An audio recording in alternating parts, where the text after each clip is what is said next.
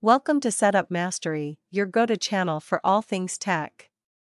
Here, we explore the latest gadgets, unbox cutting edge devices, and provide step by step installation guides to help you optimize your setup.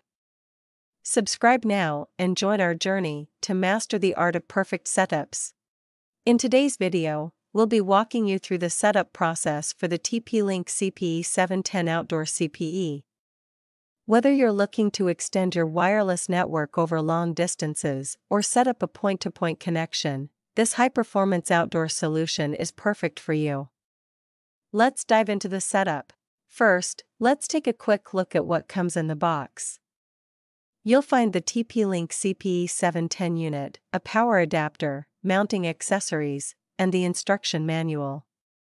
Before we start setting it up, ensure you have everything you need.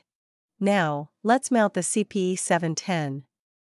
This device is designed for outdoor use, so pick a location that is elevated and free from obstacles to get the best signal. Use the included mounting kit to secure the device to a pole or wall, depending on your setup. Once the device is mounted, it's time to connect it to power and your network. Plug the Ethernet cable into the LAN port of the CPE 710 and connect the other end to the provided power adapter. Then, use another Ethernet cable to connect the power adapter to your router or directly to your computer for configuration. Next, let's configure the CPE 710 via the TP-Link web interface.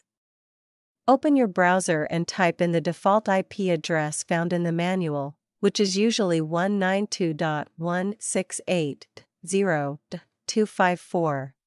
Log in using the default credentials provided by TP-Link. Both the username and password will be set to admin by default. Once logged in, you'll have full access to the settings dashboard, where you can reconfigure the device as needed for your network. Once logged in, you'll be taken to the TP-Link dashboard. From here, you can choose between different operation modes like access point, client, bridge, or repeater. Select the mode based on your specific needs. For example, if you're extending a network to another building, choose bridge mode.